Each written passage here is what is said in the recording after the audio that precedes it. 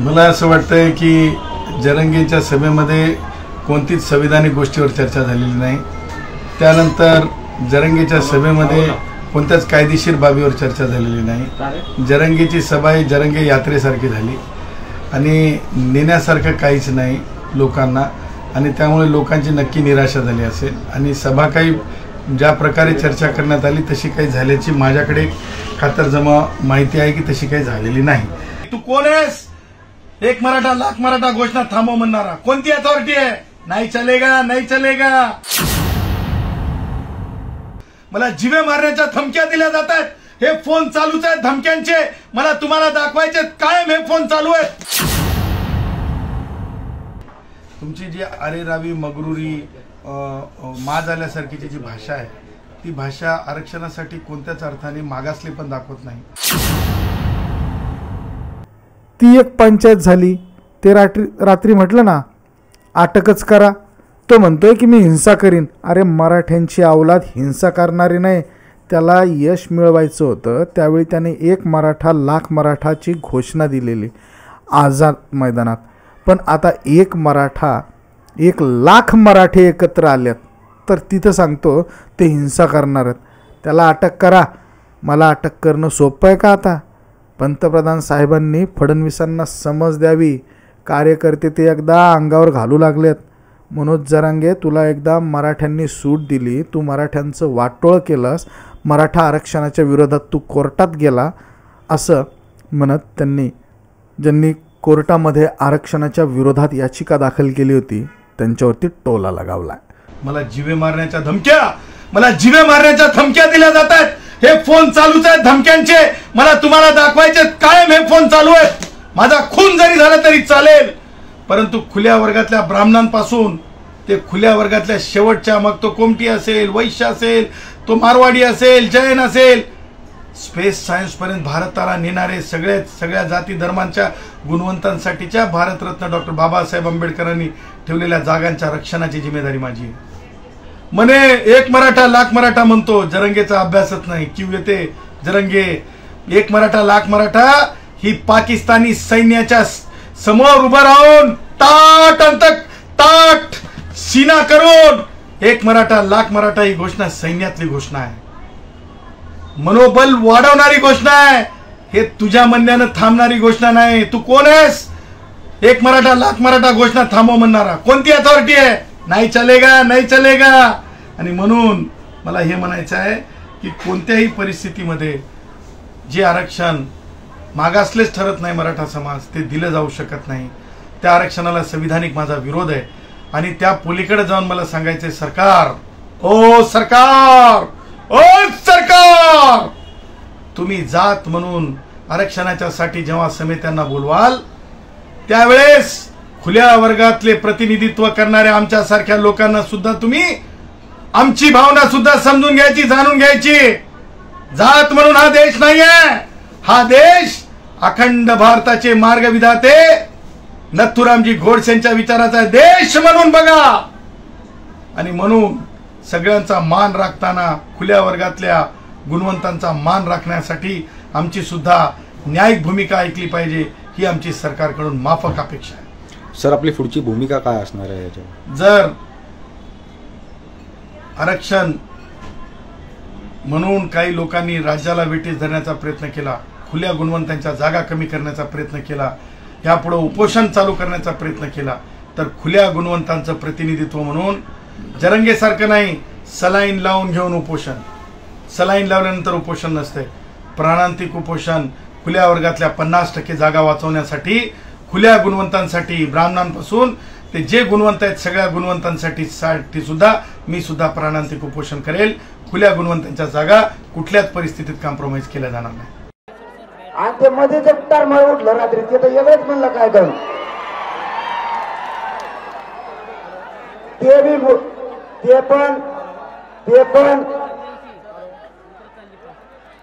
ते पण उपमुख्यमंत्र्याचाच कार्यकर्ता आहे म्हणतात लोक. उपमुख्यमंत्री हे येडपट पाळलेच कसे? उपमुख्यमंत्री एक लई आहे ती एक पंचायत झाली. ते तर रात्री म्हणलं मला अटकच करा मला. ते म्हणतय ते म्हणतंय हो काय करणार आहे? म्हणला देव. नाही नाही पण मी काय करीन? म्हणला देव.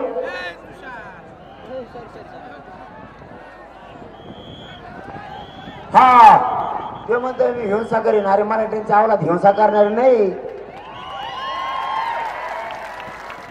आणि ते सांगत आहे की त्याला यश मिळायचं होतं. त्यावेळेस एक मराठा लाख मराठ्याची घोषणा त्यांनी याच्यात दिली. त्या आझाद मैदानावर. म्हणजे त्याला यश मिळवायचं होतं म्हणून. आणि आता एक लाख मराठे एकत्र आले त्या गोरगरीब लेकरांचं कल्याण होणार आहे. तर तिथं सांगतो ते हिंसा करणारे आहे त्याला अटक करा. आणि मला अटक करणं एवढं सोपं आहे का आता? भाऊ तुला एकदा सुट्टी दिली मराठी तू एकदा मराठीचं वाटलं गेलेलं आहे. आरक्षणाच्या विरोधात तूच कोर्टात गेलेला आहेस. मराठ्यांच्या विरोधात आग ओकायचं कमी करा. उपमुख्यमंत्री देवेंद्र फडणवीस साहेब त्याला समज द्या तो तुमचा कार्यकर्ता आहे. मराठे अंगावर घेऊ नका. याच मराठ्याला तुम्हाला एकशे सहा आमदार निवडून दिले हे तुम्ही विसरू नका. केंद्रात आणि राज्यात सत्ता आणायला मराठ्यांचा सिंहाचा वाटा आहे. मराठ्यांच्या विरोधात जाऊ नका. पंतप्रधान साहेबांनी देवेंद्र फडणवीस साहेबाला समज द्या. खालचे कार्यकर्ते ते अंगावर घालायले मराठे तुमच्यासाठी मराठ्यांनी काही पण केलेलं आहे. उलट मी तुम्हाला केंद्राला आणि राज्याला विनंती करतो की मराठा समाजाला आरक्षण द्या. हेच मराठे तुम्हाला डोक्यावर घेऊन नाचतील डोक्यावर घेऊन. मराठ्यांना विरोध करायचा बंद करा. आणि मराठ्यांना तातडीनं आरक्षण जाहीर करा.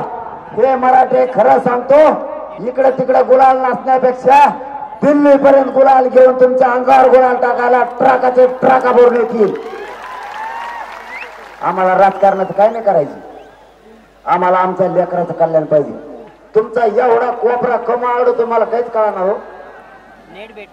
हा? तुम्हाला काय आमची भाषा कळत नाही का? आम्ही मराठीत बोलले आम्ही काय उर्दूत बोलायचं तुम्हाला? का तुम्ही फारसी फिरसी आहे तुमच्यावर आम्हाला शंका यायला लागली बरं का? दोनदा झालंय तुमचं. आम्ही एवढं टोक बाहेर काढवलो एवढ्या बी लोकाला तुम्ही काय मराठ्याच्या पुढे नाहीत? या मराठा देशाला सुधरून देण्याचं तुम्ही कोणत्या झाडाचा पाला आहे?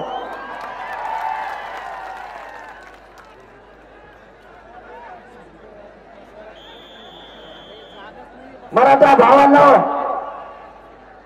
आरक्षणाचा दिवस जवळ आलाय. आपण नीट ऐका आपण बावीस तारखेला म्हणजे बावीस ऑक्टोबर रोजी जर चोवीस ऑक्टोबर पर्यंत आरक्षण नाही दिलं तर बावीस ऑक्टोबरला सगळ्या मराठा बांधवांना सांगण्यात येणार आहे पुढं काय करायचं?